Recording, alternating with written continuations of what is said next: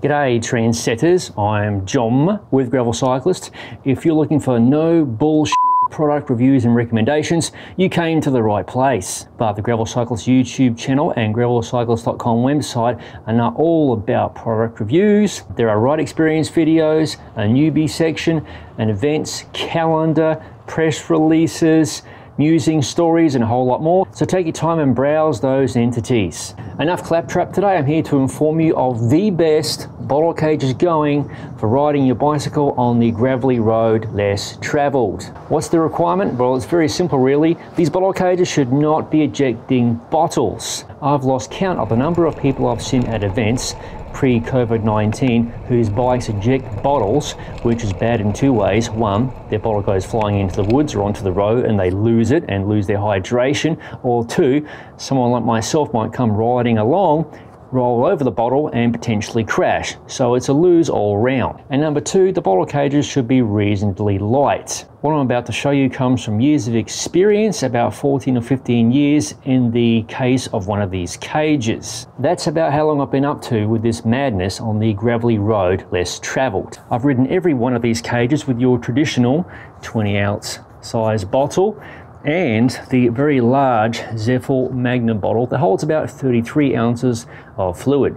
First up is the King Titanium bottle cage. I've been using this cage from day one. They hold bottles sans ejecting and they do not mark up your bottles. That's a really nice feature. They look good and they're very lightweight. You can bend them like that if you need tighter retention on your bottles. And additionally, they're made by Ron and his crew at King Cage in Colorado. Price is $60 US for a cage. Additionally, King Cage makes another model of this cage that allows placement of it lower in the frame. So basically the mounting tabs are mounted up higher.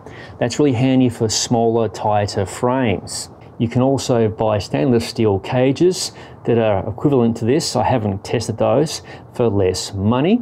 And Ron also makes some other really cool titanium doodads. You can see all that goodness at kingcage.com. Next is another titanium option. This is the Silca Sicuro, S-I-C-U-R-O titanium bottle cage. Again, this cage does not eject bottles in my experience and has nice slots the rear plate so you can position the cage up and down to your heart's delight. These beauties are made in Indianapolis, Indiana and cost about $65 US. You can buy them through their website or through Amazon, which I've got linked in the description below.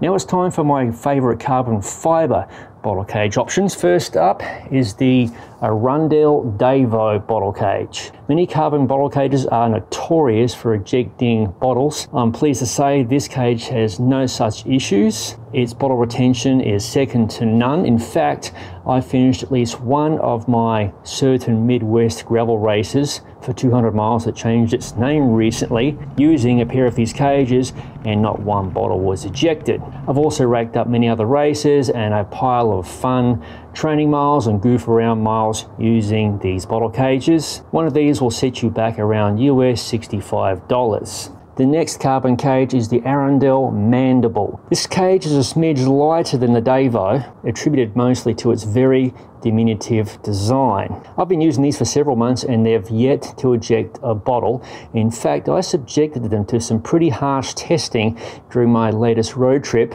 One such ride was the pre-ride of the Big Sugar NWA Gravel in Bentonville, Arkansas. I rode with three of these with the Zefal Magnum bottles and a regular 20 ounce bottle, a third bottle, beneath the frame, which I would not ordinarily recommend.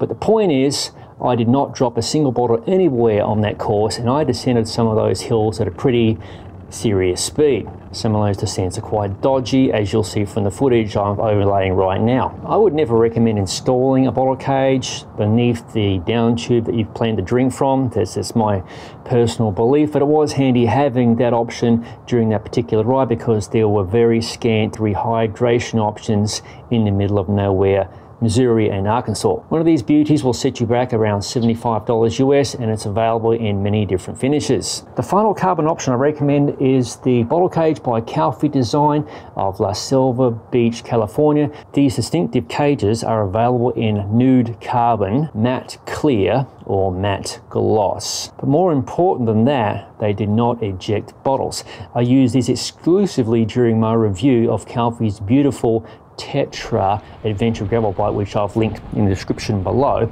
but I've continued using these cages to this day. No bottles ejected thus far. I have not tested the Calfee bottle cages in the third position scenario beneath the down tube.